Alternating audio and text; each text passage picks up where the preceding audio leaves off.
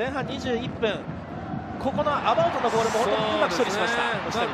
これはハーフタイムにラモス監督が、えー、ロングボール注意しよう、まあ、こういうプレーがねたびたびありましたよね。わずかのところでクロスバーに嫌われた星谷でした。ただその7分後これもそうなんですね、ルーズボールから押谷選手が頑張る、そして、えー、伊藤選手、それから片山選手の、えー、開いてからのダイアゴナルラン、そして追い越していった田所がしとはいまあ、どこでも出てきますね、田所選手は。これが今シーズンのファジアーノ初ゴールということになりました。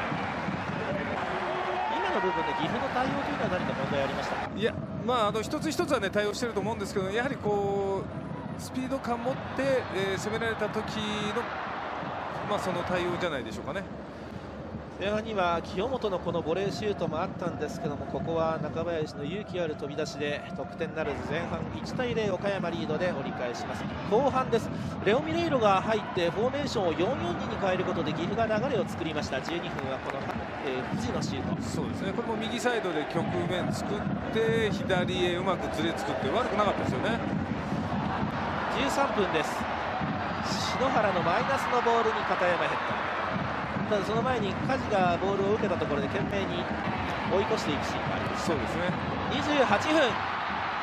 ここもカウンターなんですけどね。染谷のドリブル、はい、ここでスピードが落ちなかったことで。そうですね、まあ、染谷選手だから追いついたのかもしれませんね、これ。はい、星谷が流して最後は無人のゴール。19番片山が押し込みました。そして32分この染谷のゴールが試合を決定づけね、ちょっとコントロール外ましたんで不安になったと思うんですけどね、まあ、染谷選手